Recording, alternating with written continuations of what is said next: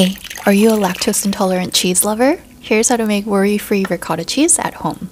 For every cup of lactose free whole milk, you'll need 1 tablespoon of distilled vinegar and a pinch of salt. Mix and microwave for 4 minutes, and you'll see these cheese curdles. Line a colander with paper towel or cheesecloth and pour it all in.